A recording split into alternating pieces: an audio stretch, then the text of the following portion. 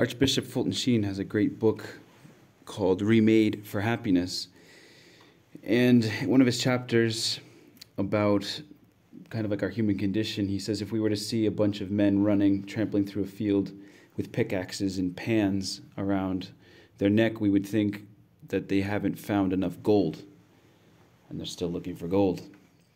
Or when you see a bunch of doctors and nurses running around with stretchers and med bags and ambulances, you think, well, they haven't found um, the remedy for our ills. They're still looking for an answer to the health problem. And he said the same reaction has to kind of stirring up us when we see a bunch of people flocking and filling the nightclubs and bars and stadiums. And we have to have that little intuition that they haven't found what they're looking for, which is happiness. Because if they were to have found it, they would stop searching for it in all these different places. And we ourselves have, have experimented that the, the anticipation is always greater than the realization. When we anticipate a certain happiness or something that's going to make us happy, and when we're there and we have it, it's not as good as we built it up to be. Usually, when we were younger, it was Christmas.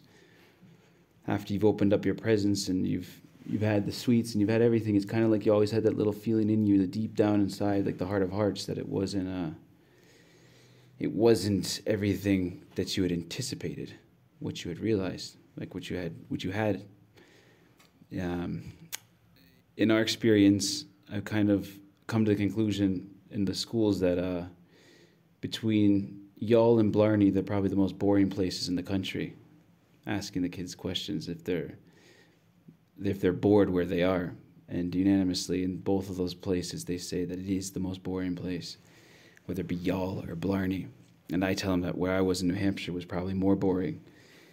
And that I think I figured out in my journeys, I found out the most boring place in the whole entire world. I know where the most boring place in the entire world is. And I'm convinced of it. It's, um, it's the human heart that's expelled God. The, the heart that doesn't have God is the most boring place in the entire world. It's the Prophet Jeremiah, what he says today, he says, Woe, cursed is the man, woe to you, and cursed are you who have placed your trust in human beings and you're seeking your strength in flesh, whose heart has turned away from God. He is like a barren bush in the desert that enjoys no change of season, but stands in a lava waste, a salt and empty earth. He's like a dry bush in a barren wasteland that experiences no change. They say that uh, this is in the same book. It's um, Walker Percy, I think, in his his discoveries, he's found out that there is no. He's a literary uh, genius, and he's found out that they don't have an etymology for the word boredom. We don't know where it comes from, but we do know when it started appearing, and it was the same time where atheism was appearing on the scene. 18th century. See, there's a connection because once we've expelled God and God's no longer exists, we get tired of absolutely everything. He says that it's not like people didn't get tired of things before.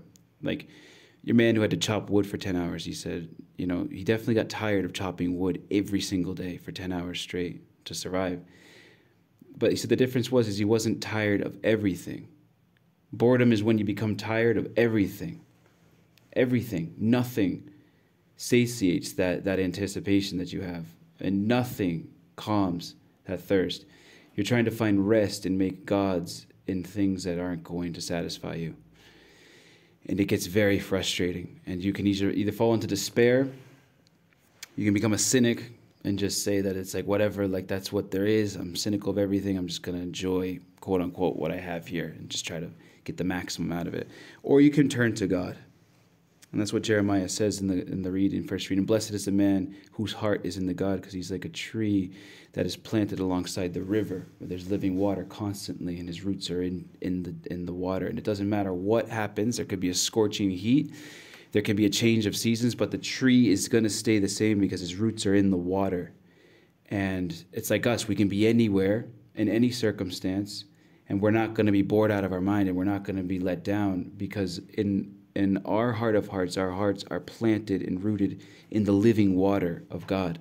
That He says, Those who have my Holy Spirit, it's going to be like this this stream that bursts up from in, within them of living water, which is going to be constantly changing and constantly giving you life, and you're going to be bearing fruit in any time. And you're, you're, you're baptized, you're a baptized Christian. So anywhere you are, if you're in the state of grace, you can turn into your heart and you can know that within you dwells the Almighty God, the Holy Trinity in your heart. So like, I don't care where you are. It doesn't matter where, what town you're living in, what village, or what your circumstances are, how bad things are around you. It's it's within. So boredom doesn't come from something that's outside of you externally. It comes from within.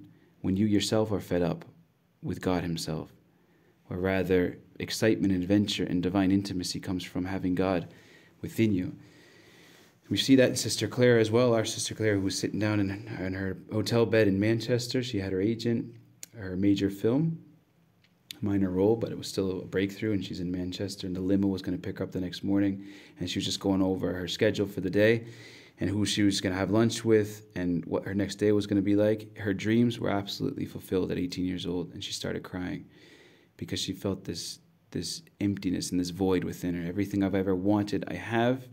It's in my hands, but it's not.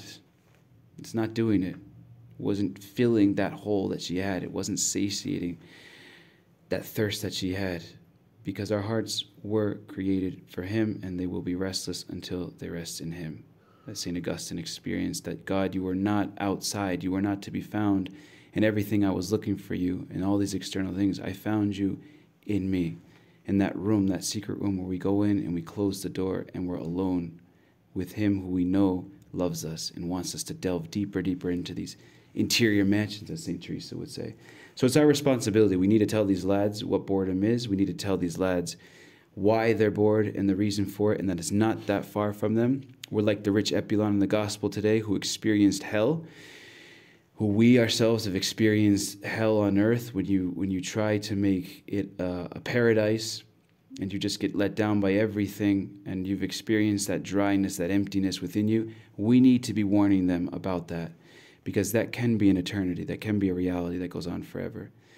Where Abraham had to say, Look, you had your goods in this life, you had your pleasure, and you never turned to the poor, you never turned to look for the needy, who Christ has said he's identified in, in those, those exact people.